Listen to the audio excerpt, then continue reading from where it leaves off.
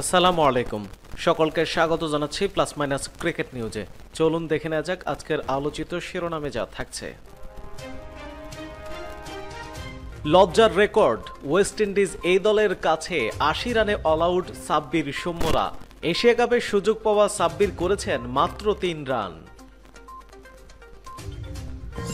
এখন আর চেষ্টা নয়, করে দেখাতে হবে, বলেছেন এবাদত হোসেন। ছোট দল নেদারল্যান্ডসের কাছে হেরে যাচ্ছিল পাকিস্তান। ফখর বাবর নাসিমদের নৈপুণ্যে কষ্টের জয় পেল পাক বাহিনী। কাতার বিশ্বকাপে ইসরায়েলিদের নিবন্ধন ফিলিস্তিন নামে করতে হবে। এশিয়া কাপ আফগানিস্তানের শক্তিশালী দল ঘোষণা। বিস্তারিত জানতে ভিডিওটিতে লাইক দিয়ে চ্যানেলটি সাবস্ক্রাইব করে না টেনে শেষ পর্যন্ত দেখুন। সেন্ট লুসিয়ায় শুরু হয়েছে স্বাগতিক ওয়েস্ট ইন্ডিজ এ ও সফরকারী বাংলাদেশ এই দলের মধ্যকার তিন ম্যাচ ওয়ানডে সিরিজ। যদিও সিরিজের প্রথম ম্যাচে টাইগারদের শুরুটা হয়েছে দুঃস্বপ্নের মতো। নিদারুণ ব্যাটিং, ব্যর্থতার পরিচয় দিয়ে বাংলাদেশ এ গুটিয়ে গেছে মাত্র আশি রানে। টস হেরে ব্যাট করতে নেমে স্কোর বোর্ডে কোনো রান জড়ো করার আগেই নাইম শেখকে হারিয়ে ফেলে বাংলাদেশ। প্রথম ওভারের পঞ্চম বলে কোনো রান না করে সাজঘরে ফেরেন তিনি। সেই থেকে শুরু সফরকারীদের ব্যাটিং বিপর্যয়। পরীক্ষিত ব্যাটাররা একে একে সাজঘরে ফিরতে থাকলে ভয়ানক ব্যাটিং বিপর্যয়ে পড়ে বাংলাদেশের দলটি। তিন অঙ্কের রানের দেখা পেয়েছেন মাত্র তিন ব্যাটার। জাকের আলী অনেক একচল্লিশ বলের মোকাবেলায় দলের পক্ষে সর্বোচ্চ পঁয়ত্রিশ রান করেন। দলের পক্ষে সর্বোচ্চ বলও মোকাবেলা করেছেন তিনি। এছাড়া সৌম্য সরকার তিনটি চারের সহায়তায় বিশ বলে পনেরো ও অধিনায়ক মোহাম্মদ মিঠুন বিশ বলে বারো রান করেন। অন্যান্যদের মধ্যে সাইফ হাসান পাঁচ বলে ছয়, মাহমুদুল হাসান জয় পনেরো বলে চার সাব্বির রহমান ছয় বলে মাত্র তিন রান করেন। গোল্ডেন ডাকের শিকার হন অলরাউন্ডার মৃত্যুঞ্জয় চৌধুরী। নাইম হাসানও রানের খাতা খুলতে পারেননি। এছাড়া রাকিবুল হাসান ষোলো বলে পাঁচ ও মকিদুল ইসলাম মুগ্ধ ছয় বলে এক রান করেন। স্বাগতিক দলের পক্ষে জাস্টিন গ্রিফস একাই শিকার করেন চারটি উইকেট। এছাড়া দুইটি করে উইকেট শিকার করেন অ্যান্ডারসন ফিলিপ ও শারমন লুইস। ছোট এই লক্ষ্য তাড়া করতে নেমে রীতিমতো সংগ্রাম করতে হয়েছে ওয়েস্ট ইন্ডিজ এ দলের ব্যাটারদেরও। তারা চার উইকেটে জয় পেয়েছে। অন্যদিকে এবাদত হোসেন বলেছেন, এখন আর চেষ্টা নয়, করে দেখাতে হবে, আমরা সেটাই করব ইনশাআল্লাহ। লাল বলে দুটি ছড়ানো এবাদত হোসেনের সামনে এবার সাদা বলের চ্যালেঞ্জ, জিম্বাবুয়ের মাটিতে ওয়ানডে অভিষেক রাঙানো এই পেসার প্রথমবারের মতো ডাক পেয়েছেন টি টোয়েন্টি দলেও। সীমিত ওভারের ক্রিকেটের শুরুটা ভালো হলেও আর বড় চ্যালেঞ্জ নিয়ে এশিয়া কাপের বিমানে উঠবেন এই ক্রিকেটার। অবশ্য নতুন এই চ্যালেঞ্জে জয়ী হতে চেষ্টা নয়, করে দেখানোর জেদ নিয়ে মধ্যপ্রাচ্যে যাবেন তিনি।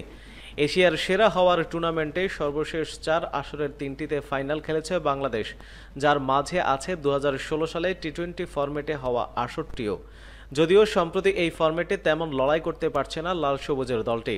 সর্বশেষ উনিশ ম্যাচে জিতেছে কেবল চারটিতে। এমন অবস্থায় আসন্ন এই টুর্নামেন্ট নিয়ে কতটা আশাবাদী দল? লক্ষ্যটাই কি থাকছে? ষোলো আগস্ট মিরপুরে এমন সব প্রশ্নের মুখোমুখি হতে হয় এবাদতকে। এই প্রসঙ্গে তিনি বলেন, আমি মনে করি চেষ্টা এক জিনিস আর আমি করে দেখাবো আরেক জিনিস। আমার জীবন থেকে আমি চেষ্টা করব এই জিনিসটা শেষ। আমি করে দেখাবো। আমরা করব ইনশাআল্লাহ। আমরা দল হিসেবে ভালো খেলছি না মানে এই না যে আমরা টি টোয়েন্টি খেলতে পারি না। আমরা অদূর ভবিষ্যতে ভালো দল হয়ে দাঁড়াবো ইনশাআল্লাহ। আপনারা আমাদের জন্য দোয়া করবেন। সাতাশ আগস্ট থেকে সংযুক্ত আরব আমিরাতে পর্দা উঠবে এশিয়া কাপের। শারজা ও দুবাইতে অনুষ্ঠিত হবে ম্যাচগুলো।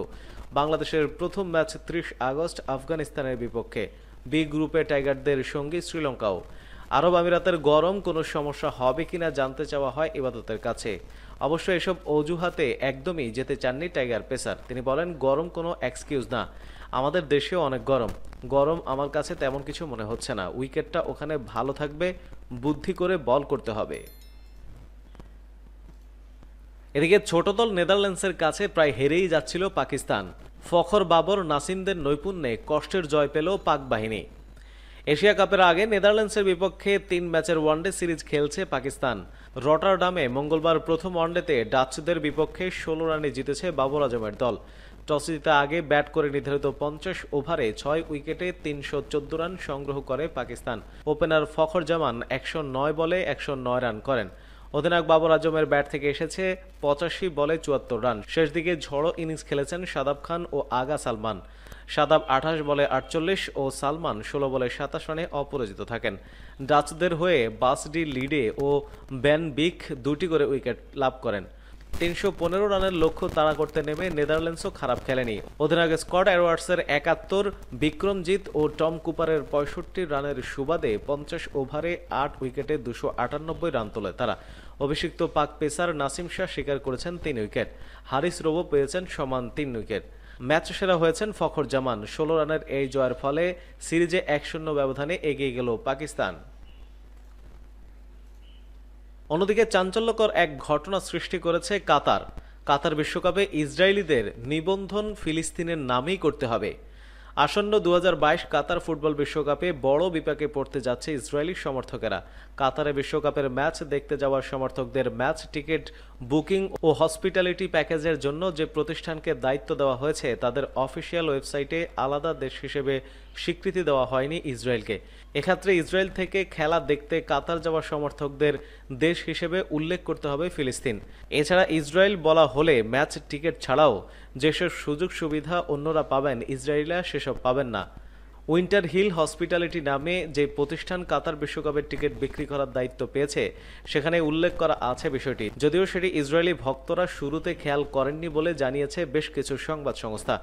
ইসরায়েলের নাম না থাকায় কাতারে বিশ্বকাপের ম্যাচ দেখতে ইচ্ছুক দেশটির ফুটবল ভক্তরা জানাতে হবে তারা অধিকৃত ফিলিস্তিন অঞ্চলের। এমনটাই জানিয়েছে মার্কা। আরব নিউজ সহ বেশ কয়েকটি সংবাদ মাধ্যম। এমন খবরের পর বেশ সমালোচনার মুখেই পড়তে হয়েছে ফিফাকে। এ নিয়ে বেশ ক্ষোভ ঝাড়তে দেখা যায় ইসরায়েলি গণমাধ্যমগুলোতে।